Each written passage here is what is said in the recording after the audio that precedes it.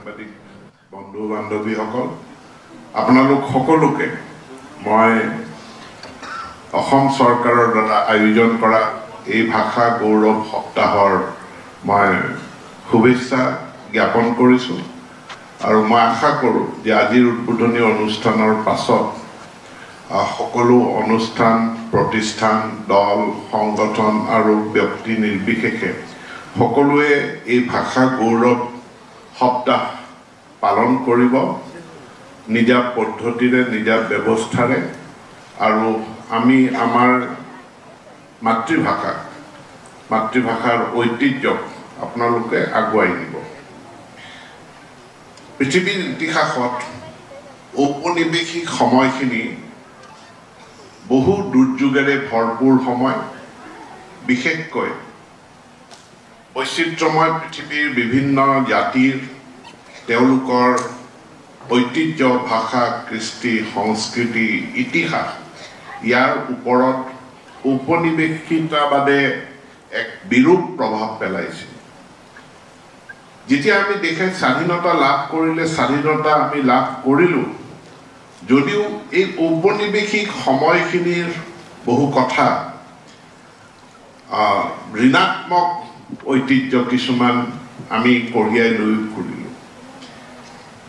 আমাৰ যি মূল ভাষা আছিল সাহিত্য আছিল সংস্কৃতি আছিল সেইবিলাক বহু তল পৰি তাৰ ঠাইত পাশ্চাত্য সভ্যতা সংস্কৃতি ভাষাই আমাৰ ওপৰত এক ধৰণৰ অৱলম্বন চলাবলৈ ধৰিলে বা চলোৱাটো এটা প্ৰক্ৰিয়াত পৰিণত হৈছিল। ভাৰতবৰ্ষৰ প্ৰধানমন্ত্ৰী নৰেন্দ্ৰ মোদী ডাঙৰীয়া।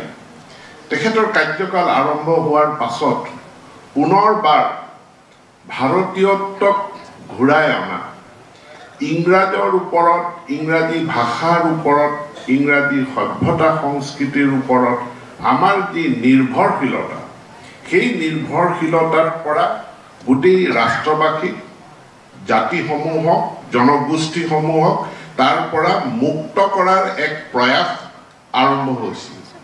আৰু সেই প্ৰয়াসৰ ফচলস্বৰূপে ব্ৰিটিছে আমাক যি শিক্ষা ব্যৱস্থা দি গৈছিল সেই শিক্ষা ব্যৱস্থাৰ ঠাইত এটা ভাৰতীয় মূলৰ ভাৰতীয়ত্ব থকা এক নতুন শিক্ষা ব্যৱস্থা প্ৰৱৰ্তন কৰাৰ কাৰণে প্ৰচেষ্টা আৰম্ভ হয় আৰু দুহেজাৰ বিছ চনত আমি ৰাষ্ট্ৰীয় শিক্ষা নীতি দুহেজাৰ বিছ তাক আমি লাভ কৰিলোঁ। আৰু এই দুহেজাৰ বিছ ৰাষ্ট্ৰীয় শিক্ষা নীতিয়েই আমাক ক'লে ভাৰতীয় ভাষা মাতৃভাষাসমূহৰ জৰিয়তে শিক্ষা প্ৰদান কৰাৰ তাৰ গুৰুত্বটো এই ৰাষ্ট্ৰীয় শিক্ষা নীতিয়ে পুনৰ ঘূৰাই আনে।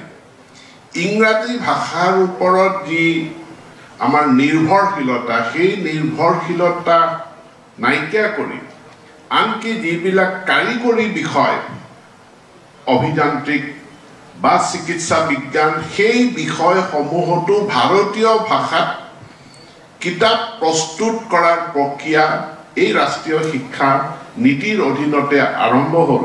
আৰু মই আজি আপোনালোকক জনাবলৈ পাই সুখী যে আজি অভিযান্ত্ৰিক বিজ্ঞানৰ প্ৰায়খিনি কিতাপ ভাৰতীয় ভাষালৈ অনুবাদ সম্পূৰ্ণ কৰিছে সম্পূৰ্ণ হৈছে।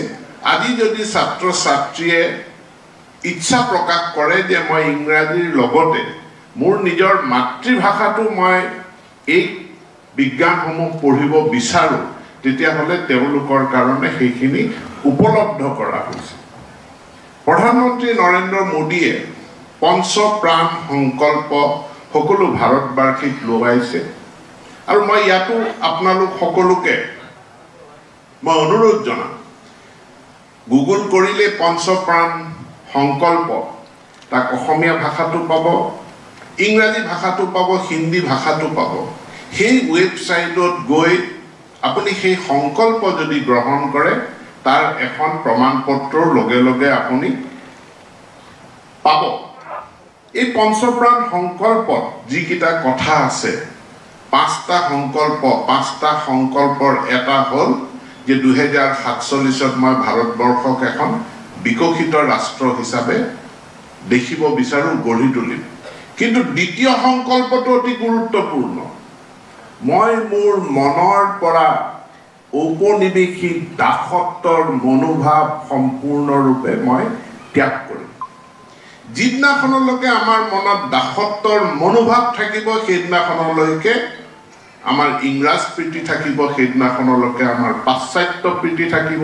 আৰু যেতিয়া পাশ্চাত্য প্ৰীতি থাকিব ইংৰাজী প্ৰীতি থাকিব তেতিয়া নিজৰ সভ্যতা